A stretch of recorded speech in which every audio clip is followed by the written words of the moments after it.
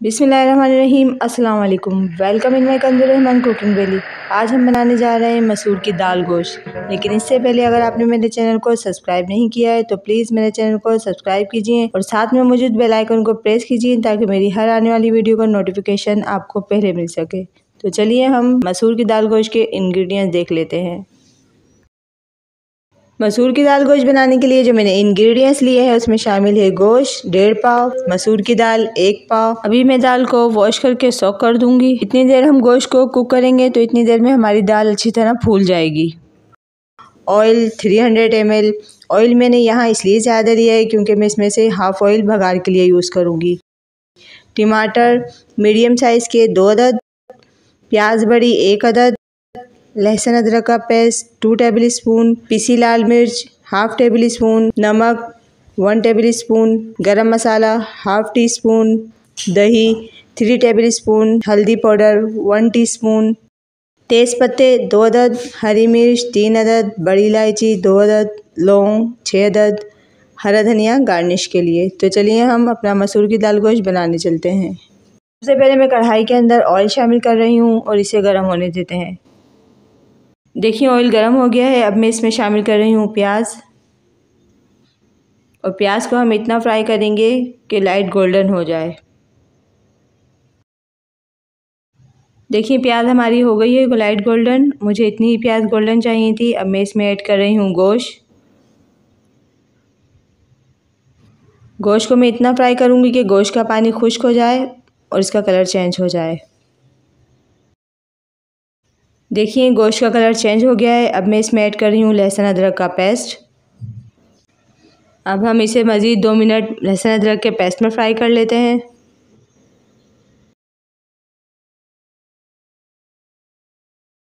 लहसुन अदरक के पेस्ट में फ्राई करने के बाद अब मैं ऐड कर रही हूँ इसमें गरम मसाला।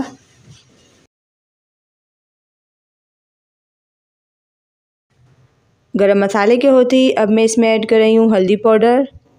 पीसी लाल मिर्च पाउडर और नमक। इन चीज़ों को अच्छी तरह से मिक्स कर लेते हैं और इसमें थोड़ा सा पानी ऐड कर देते हैं। यहाँ थोड़ा सा पानी ऐड करने के दो फ़ायदे होते हैं। एक तो ये कि ऑयल गर्म होता है और पाउडर फॉर्म के मसाले ऐड करते ही मसाले जलने से महफूज रहते हैं और मज़ीद पानी डालने से अच्छी तरह भुन जाते हैं। देखिए, मसालों ने घी छोड़ दिया है। इसका मतलब है मसाला हमारा अच्छी तरह से भुन गया है। अब मैं इसमें ऐड कर रही हूँ कटे हुए टमाटर और दही। इन्हें अच्छी तरह से मिक्स करके अब मैं इन्हें कवर कर दूँगी मीडियम टू लो फ्लेम पर ताकि टमाटर हमारे अच्छी तरह से सॉफ्ट हो जाए।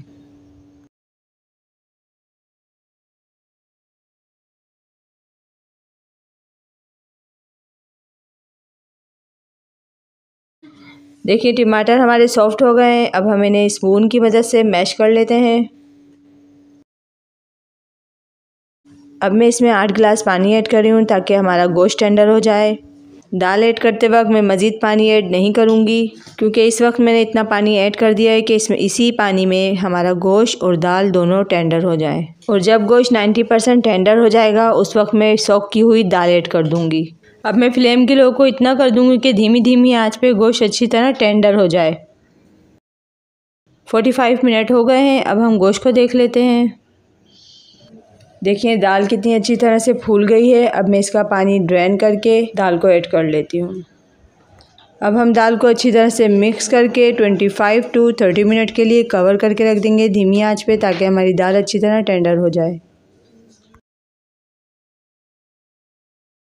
30 मिनट हो गए हैं और हमारी दाल भी अच्छी तरह से गल गई है। अब मैं इसे घोटे की मदद से थोड़ा घोट लूँगी ताकि हमारी दाल जो है वो ज़रा यकजा हो जाए। बोटियों को साइड में करके आप आहिस्तगी से इसके अंदर घोटा चलाएँ कि दाल आपकी अच्छी तरह से मैश हो जाए। दाल को मैंने घोट लिया है, अब मैं इसमें ऐड कर रही हूँ पिसा हुआ गरम मसाला।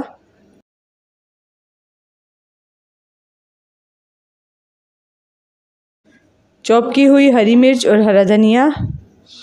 और अब हम फ्लेम को कर देंगे ऑफ़। अब हम इसके बघार की तैयारी करते हैं।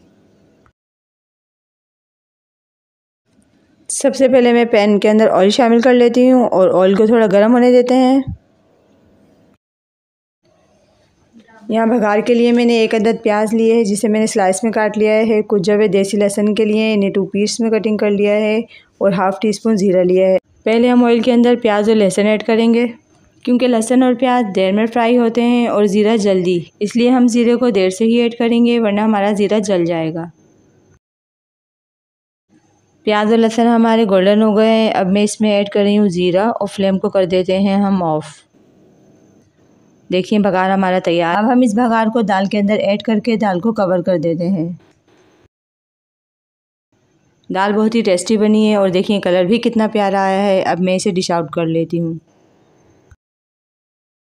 अगर मेरी रेसिपी आपको पसंद आई है तो इसे लाइक कीजिए शेयर कीजिए। अपना बहुत ज़्यादा ख्याल रखिए। इन मिलते हैं नेक्स्ट रेसिपी के साथ। अल्लाह हाफिज़।